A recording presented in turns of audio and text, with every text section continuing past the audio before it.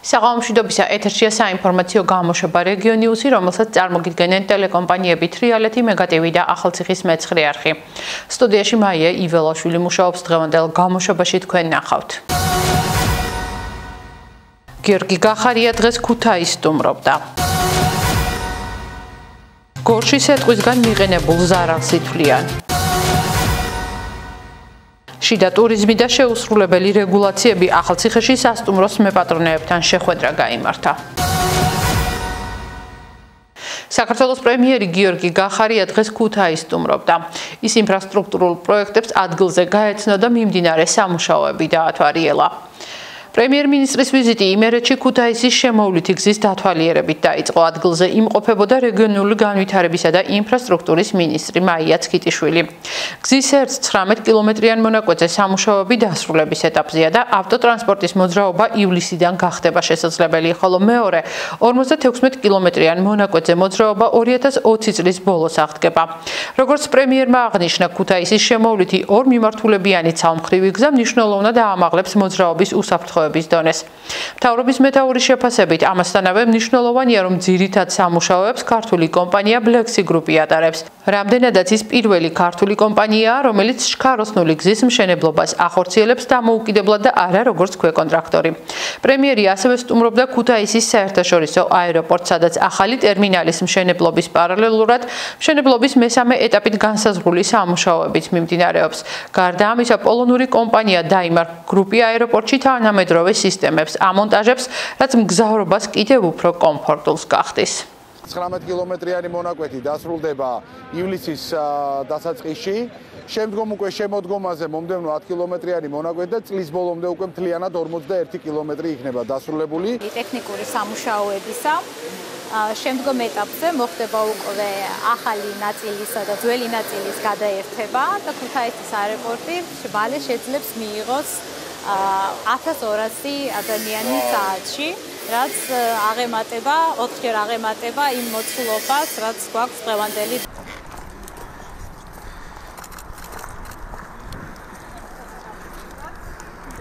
ქუთაისში პრემიერ-მინისტრის ვიზიტი შეაფასეს, რა სიტყვენ ქუთაისელები ქვეყნის პირველი პირისგან და რა ეთყოდნენ პირისპირ შეხვედრის შემთხვევაში. მათი მოსაზრებები დღეს ტელეკომპანია მეგატივი მოისმინა. რას უთხოვდი და 220 პენსია 220 ლარი პენსია მუდამ წამლებზე ვარ. დამოკიდებული. თუ ეყოფა მის ოჯახს ეს 220 ლარი ტუალეტის ხახალდათ აი ეს მინდა ვკითხო. 220 ლარი თუ იმას იზამს ადამიანი შეინახავს თავს. ეს მინდა ვკითხო და თუ მის ოჯახს ტუალეტის ხახალდათ არ ეყოფა ეს 220 ლარი. შევარნაძისობას წავედი და ჩამოვედი ახლა ერთი წლის უკან აგენ. 16 წელი გავატარე საზღვარი და არც ერთ მთავრობას არ საკაშვილი გლანძავდა კიდე იქით. არც ერთ არ მოუვა, არც ერთი არ მინდა. არც ერთი. სტალინი, სტალინის მეტი ამ ქვეყანას ვერაფერი გაასწორებს. ნაციონალებია თუ ოცნება თუ ვინც აღყოლას დილას გადაშენდა და მეორე საღამო. იყვენ ერთმანეთს. იყვენ ერთი ერთმანეთს. ჩვენ ყველაზე მეტად გვინდა სამუშაო ადგილები ყველაზე მეტი მოთხოვნა მაგია რომ ჩემი შვილები მოვიდონ აქ საქართველოსში და იცხოვრონ ჩემს გვერდით. და სადმე საღოღიალოთ არ შეექნეთ სად. შეგნა სამუშაო ადგილები ამდენი წელიწადია სამუშაო ადგილები არ შეექნა არაფერი საერთოდ ძალიან გული მტკივა ამაზე. მე დაუბერდი, მე აწი აღარაფრად აღარ ვარ გა. კომუნისტების დროს ნამუშევარი ხალი ვარ და სტაჟიც დიდი მაგ და ყველაფერი ვარ. ჩემმა შვილებმა რა და ამერიკაშია შვილი შვილი. რუსეთში არის ორი შვილი შვილი და შვილი ძალი. და მე მინდა ჩემ ვერჩი ყველას უნდა. თქვენ ახლა ამ ეტაპზე გარევაჭრობით ხართ ხომ? მე რას ვაჭრობ, ბებო, მე აღარ შემიძლია. დენ სასორი დევით გიაგერ, აი სასორი. და თუ იწონება? ამ პანდემიის პირობებში სამი თვის განმავლობაში როგორ ირჩენდით თავს? თავს ირჩენდი შერი არ მომდარვარ გაგეთებულები მქონდა შენახული აჯაბ სანდალი რაღაც რაღაცეები ასე რომ შერი არ მომდარვარ მაგრამ მარტოობა მკლავს რა ვიცი, ვეთყოდი, რომ გაჭირებულებს დაგვეხმაროს, პენსიონერებს, მარტო პენსიაზე ვარ, წამლები ძვირია ყველაფერი და თუ დაგვეხმარებიან და თუ გაიმეტებენ, კარგი ხალხი იქნებიან, თორე და ძალით ვერაფერს ვერ ვიზამთ, რა ვიცი. ისე ცუდი კაცი არჩანა. არცა არჩანა ცუდი კაცი. პატიოსანი კაცი ჩანა და რა ვიცი. თუ დაგვეხმარება ძალაზე არაფერია, გამოსული ვარ ასე საწოდავა და წვალო. გარევაჭრობით ხართ დაკავებული, რაიმე დახმარება თუ მიიღეთ თქვენ? არაფერი ბებო, დახმარება კი არა ბებო. ვაი, მე არ ვიცი, პირველია ჩემი სანა ადამიანი. 4 ოთახიანი ჩეხური ბინისკული დიტახოში მუშაობდა კაცი, წაგვართვეს ბებო, იქედან წაიღეს იგი. თვალი იქანა დაგარგა კაცმა და დღეს აქანა წარმაჩერებენ ბებო, რომ პურის თვალდავსებულ კაც პური მიუტანა. სახში. არ მაჩერებენ აქანა და მე რო ჩამოიარეზა უთხარი პტიროდი ასე მე უთხარი ეს ამქალ ზაანებს თავი უთხრა მაგრამ რა ვიცი ყველას თავისი რო არ შეიძლება არ შეიძლება მაგრამ ცოტა გაჭირებულებს უკად მოხედავს კარგი ადამიანი იქნება ძალიან რა ვიცი მეტი რა თქვა ამ განმავლობაში როგორ ცხოვრობთ როგორ გა ძალიან ცოტა ბებო კარტოფილი ბორში მეტი ჩვენ ზარაფერი არ იყო იმასაც ვერ ხედულობდით სამი თვის განმავლობაში ბორში ბორში მე ვერაფერს ვერ ვაკეთებდი წარში. აბსოლუტურად მე და ჩემი ქმარი ვარ ჩილები მისთვის არიან. რა ვიცი წვალებით გამოვიტანე და გამოვედი ეხლა რომ პურის ფული ვიშოვო და წავიღო სახში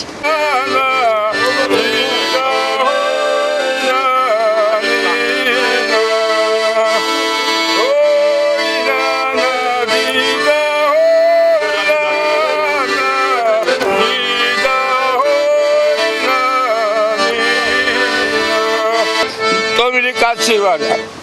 ხადუბოში ვწხოვებს. ბინას ჯერ არ მიმიღია, რამდენჯერ რამდენჯერ დაკვირდეს არ მოგწეს ბინა.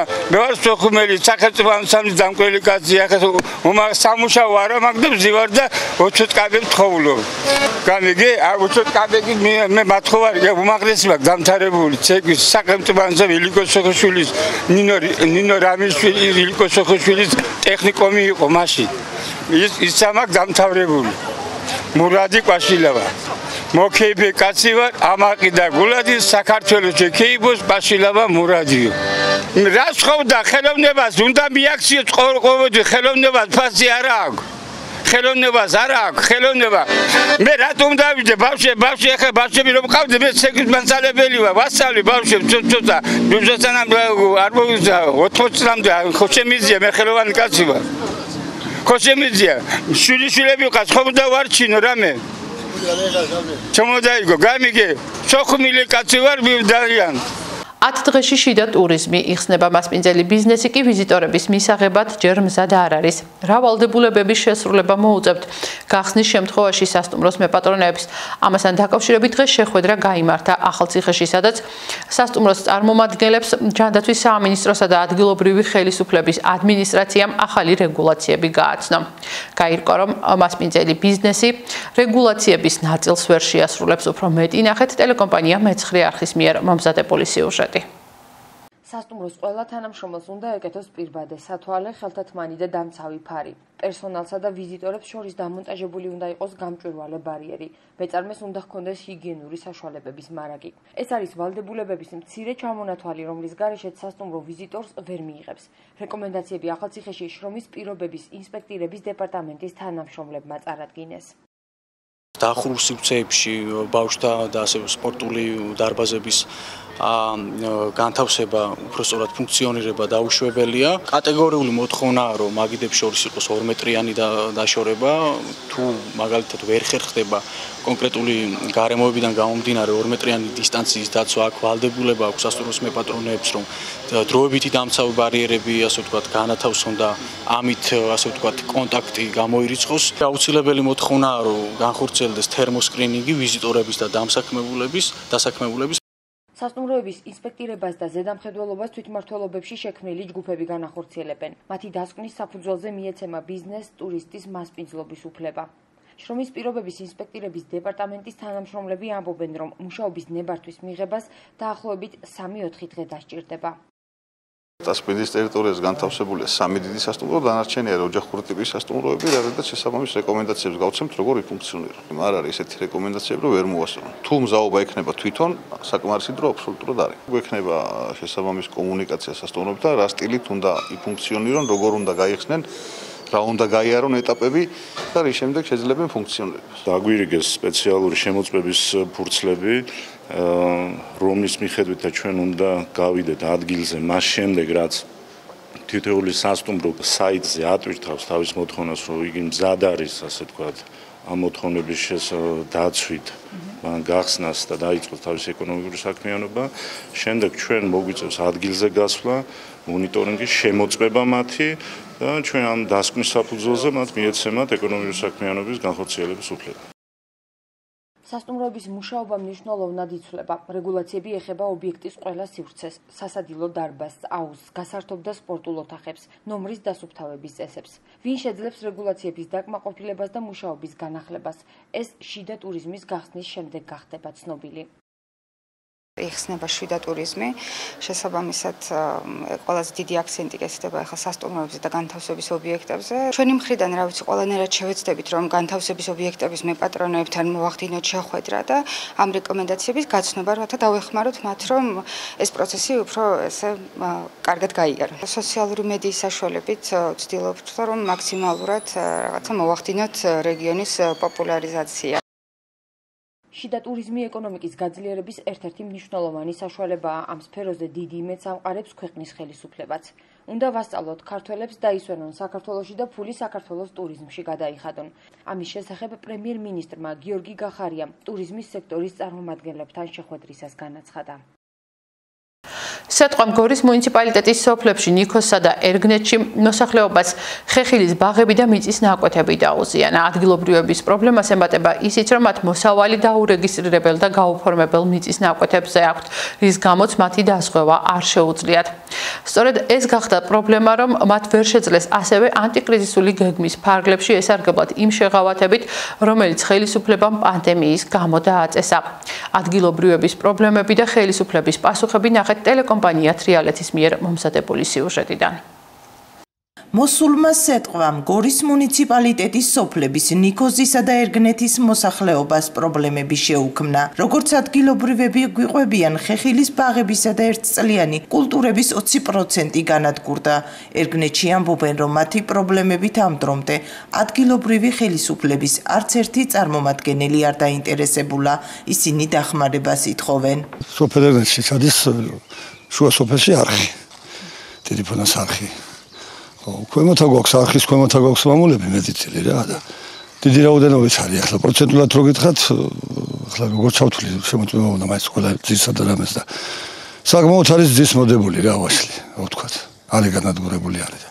ახეთ ზემოთაც აგვაქვს, მაგრამ შედარება არ არის ახლა. არის, ახაც არის, მაგრამ ის პროცენტი არ არის, რაც ქვით გააფუჭა. ნუ დაზარალებულია, ციტყვით სოფელი რა. ყო დაახლოებით 1-10 წუთი მაინც იყო გაათეთრა ყველაფერი აქაობა. ე დაანტრუია ტოტები, აი დაინახე რა დღეს შეფოთლები. რა უნდა ვქნათ აბა რა ვიცი, ვიდას დაგვეხმარება. ვინ არის ჩვენი პატრონი? საერთოდ არავინ არ არის ჩვენი პატრონი. არავინ არ არის. სიტყვა ცალკე ბუნება ცალკე ჩაგრავს. არ ვიცი რა ვი რა გუშველება ჩვენ სოფელის განსაკუთრებულად მე ვერ წარმომიდგენია. განადგურა გამსამტვრა მინდორში გადასვლა აღარ მინდა რომ შევხედო ის ჩემი ნამუშევარი როგორ წაშალა და როგორ გააფუჭა. სათხოვამ გააფუჭა? ნაწილობრივ მაგრამ მაინც რაღაც გადარჩა. სუმთლად ისე რომ აი ნულამდე. მაგრამ ვისაც ვაშლია ქვაშლი ალბათ გაფუჭდებოდა. ჩვენც კი გვაქვს მაგრამ ბევრი არა გვაქვს ხალხი არის რომ დიდი ბაღები აქვს, მაგრამ იმათ დასღეულებიც აქვს და რაღაცა იქნება. წვერებში ვაშლი და რა მიაცხე, გააფუჭებდა რა თქმა უნდა. მალე კი გადაიღო, მაგრამ მაინც მსხვილი წვირის იყო სიტყვაი. და რავი, ახლა სიტყვა რომ მოვა ყველაფერს აფუჭებს შვილო. და რავი, ღმერთმა დაგვიფაროს კიდე რომ მოვიდეს უკვე უნახელი ჩავიქნიოთ ყველაფერს. თუ იყვნენ ამოსულები ვინმე ან არა შვილო, არავინ, არა. არავის არ ვაინტერესებთ.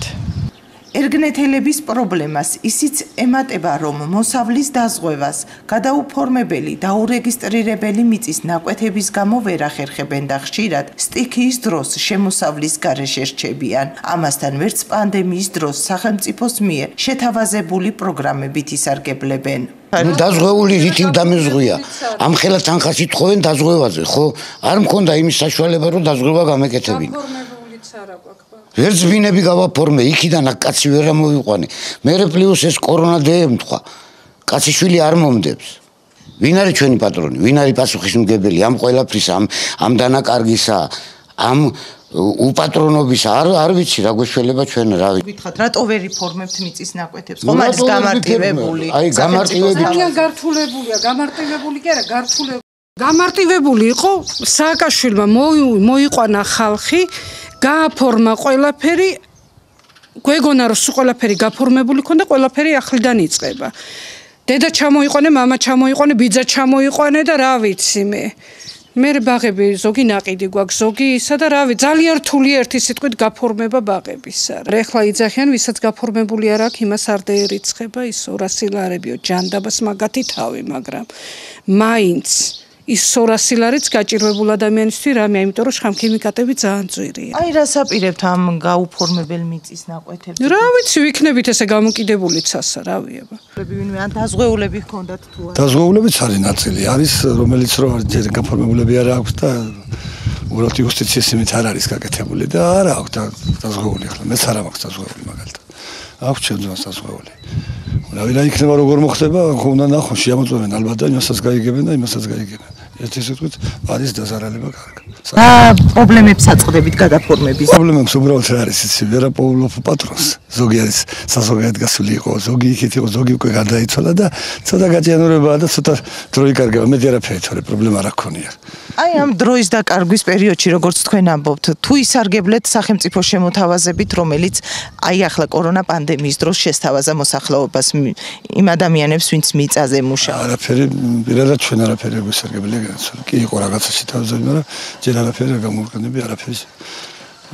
არაფერი დახმარება არ აქვს მაგათ. რატომ გადაფორმებული რო არ არის ვერ ამტკიცებთ რომ თქვენ? ვა, ეგრეა რა, ეს სიტყვით საბუთებით ავთხოვე რომ უნდა იყოს შენზე ამოდენ ამოდენ გექტარი რაოდენობა და მე კი ბატონო ისარგებლო ჩვენგან. აი ეს არ გვაქვს პრობლემა.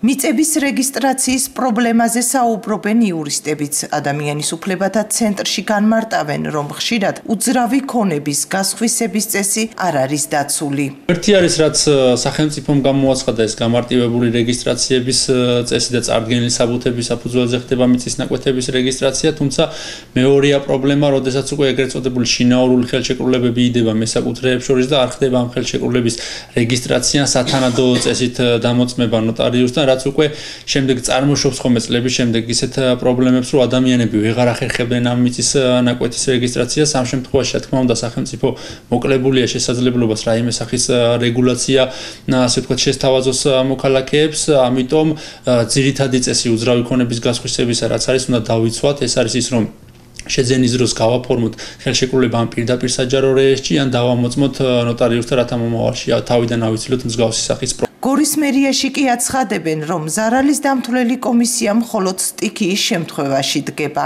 ამ შემთხვევაში კი მუნიციპალიტეტში სტიქი არ ყოფილა. რაც შეეხება იმ მოქალაქეებს, ვისაც მიწის რეგისტრაციის პრობლემა აქვთ, ამასთან დაკავშირებით ადგილობრივ ხელისუფლებაში ამ დრომდე პასუხი არ აქვთ.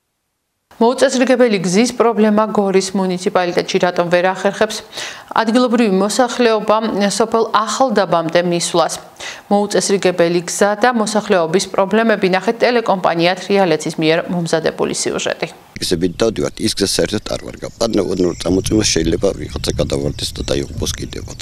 აქედან გამომდინარე ვთხოვეთ ეს ყველას რომ აღედგინათ ეს გზა მაგრამ შედეგი ლისტოლფასია თქვენ თვითონ ხედავთ ამ გუმრებაშიც არის მოუწესრიგებელი გზის პრობლემა გორის მუნიციპალიტეტის სოფელ ახალდაბაში ადგილობრივი მოსახლეობა სასოფლო სამეურნეო მიწის ნაკვეთებამდე გადაადგილებას ვერ ახერხებს და შემოვლითი გზით რამდენიმე ათეული კილომეტრის გავლა უწევს. პრობლემა განსაკუთრებით მწვავე წვიმიანი ამინდების დროსაა. მათი თქმით, სოფელში გზის ძირითადი ნაწილი უკვე რეაბილიტირდა, მაგრამ ადგილობრივი ხელისუფლებისათვის მრავალი მიმართვის მიუხედავად ახალდაბის გზის აღნიშნული ნაწილი ისევ პრობლემად რჩება. ჩვენ კი არა ეს არის საქართველოს მთლიანად ახალდაბის მიწებისაც აქვს მაგრამ ისინიც მოძრაობენ ამ გზაზე. გაკეთების მაგივრად აი ფაქტიურად თქვენ თვითონაც ხედავთ რამ მდგომარეობაში ეს გზა იმის მაგივრად რომ გზა მეხრეშად გამგეობაშიც ვიყავით შევიტანეთ განცხადება მაგრამ შედეგი ვერაფერი ვერ ვნახეთ. უხარისხოთ არის შესრულებული. აქ ესეთი რამე არ ნაკეთებული როგორც სოფელში გააკეთეს გზები ისე უნდა გაეკეთებინათ აქაც ეს არის დალაგებული უბრალოდ და მანქანის გადავგადმო აქ არის ძალიან სახიფათო სოფელში მცხოვრებლები მოუწესრიგებელ გზასთან დაკავშირებით კიდევ ერთი პრობლემის შესახებ საუბრობენ, რაც ახალდაბაში 10 დღეზე მეტი არსებობს. გზაზე, რომელიც სასოფლო სამეურნეო მიწებამდე მიდის, სანიაღვრე რო უხარისხოდ დამონტაჟდა, მასზე არსებული რკინის კონსტრუქცია კი დამონტაჟებიდან რამდენიმე დღეში უკვე მოიშალა და ავტომობილებით გადაადგილება შეუძლებელი გახდა. პრობლემა ის არის, რომ აი სულ ახალი გაკეთებული არის. ერთი 10 დღე რაც გააკეთა და ჩაინგრა. ეს გაკეთებული საქმეა. არა თუ კიდე განახვევთ რა ეგრევე ამოდის. მავთულებით არის დამაგრებული და ძივ ტექნიკა გადადის. სოფლის ხალხია ნაკვეთები აქვს და. აი რა გაკეთებული ეს რა არის? ვაფშე ვერ გადაადგილეთ ჭიამიჩი და ზევით გასატარებელია გრეიდერი ერთი გრეიდერი არ არის რომ გაიაროს გრეიდერმა. არ ვამბობ რომ ან ხრეში მოგვიტა რა პირ ერთი გრეიდერი გვინდა სოფელ ახალდაბაში სხვა პრობლემებთან ერთად სარწყავი წყლის პრობლემაც არსებობს პრობლემებს მეტი რა აქვს 100 გექტარი მიწა აქვს სოფელს და სარწყავი წყლები არ აქვთ. ხო შეიძლება თორ ჭაბურული გაკეთებულიყო თუ არ დაიგარჩენა და რითაც ხმარობდით ომი კომუნისტებს და წყლებს. ისა საკალმახებმა დაიკავზა დღედღობით წყლები არ აქვს. წყავთ, ვერ ავრწყავთ. ძალიან პატარა წყალი მოდის, რა ვიცი, ჩუბი და ყაყანი და უბედური პარს ვერ ვწყავთ ნაკეთებს. გორის მუნიციპალიტეტის მერიაში ამბობენ, რომ სოფელ ახალდაბაში რეაბილიტაციის სამუშაოები ჯერ არ დასრულებულა და აღნიშნული პროცესი ამჟამადაც მიმდინარეობს. სანიაღური არხის ხელახლა დაზიანების შემთხვევაში მისი აღდგენა პროექტის საგარანტიო ვადებში იქნება შესაძლებელი. რაც შეეხება სოფელში საბარგულებამდე მისასვლელი გზის რეაბილიტაციას, მერიაში ამბობენ, რომ ამ ეტაპზე გორის მუნიციპალიტეტის სოფლებში შიდაგზების რეაბილიტაცია ხდება. სამუშაოების დასრულების შემდეგ კი აღნიშნული პრობლემაც მოგვარდება. რიცხვებში დაგეგმილი პრემიერისთვის ემზადებოდნენ, როცა ორი კვირით ადრე სამუშაოების გაჩერება მოსთხოვეს. სამი თვეა უკვე ახალციხეში თეატრი გაჩერებულია. 20 თანამშრომელი მუშაობის დაწყების ნებართვასელის ადმინისტრაციაში ჯერ არ იციან რა პირობებით მოუწევთ ფუნქციონირება. სამხატრო ხელმძღვანელი ვარაუდობს, რომ ივლისიდან მიიღებენ რეპეტიციების განახლების უფლებას. სპექტაკლების ჩვენებას კი სექტემბრამდე ვერ დაიწყებენ. ვახტანგ ქორიძის თქმით, თეატრს წელს სამი ახალი სპექტაკლის დადგმა ჰქონდა დაგეგმილი.